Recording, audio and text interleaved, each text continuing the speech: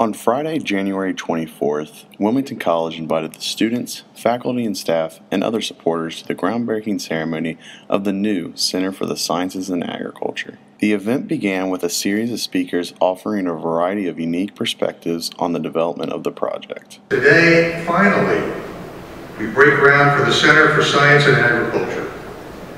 We've come a long way through some hard economic times to get to this day, and here we are trying to break ground when it's zero degrees outside. The renovation and expansion of Kettering, the Center for Science and Agriculture, is just the beginning of several projects that will occur in the near future of Wilmington to put us in a position to go forward for the next 50 years. This is important because we have something special to offer at Wilmington. I hear this from alums. I hear it from the students. My own life was transformed by my time as a student at Wilmington College. We want to make sure that the Wilmington College experience will be available for generations into the future.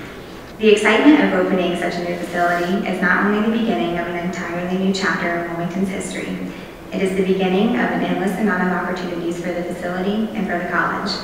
The quality of research and student projects will likely skyrocket with such needed updates and improvements. Wilmington has the chance to greatly improve not only the educational experience of its students, but also the quality of its students.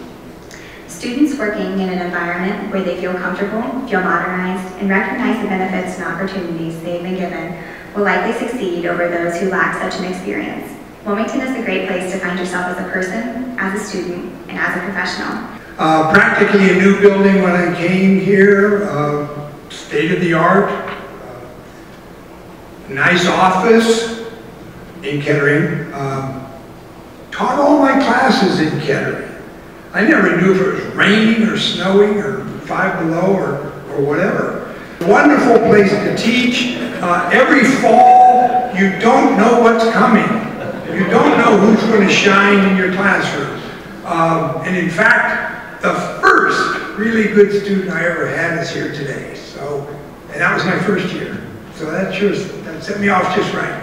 And so today I want you to, to remember how to believe, and I want to invite you to believe. Um, there are a lot of things, like I said, that are going on here today. Some more symbolic than others. I'm reflecting on is that I really believe in this place. And I believe that together we can do remarkable things. And I know that many of you will be a party to all of that. So I'll close my remarks today by again asking you to believe because this place is worth your belief. The Center for Sciences and Agriculture will begin construction soon, along with the renovation of Kettering Hall. The new addition and renovated structure will house 10 laboratories, 3 research labs, 10 classrooms, 2 conference rooms, and 30 offices. The project is expecting completion in August 2015.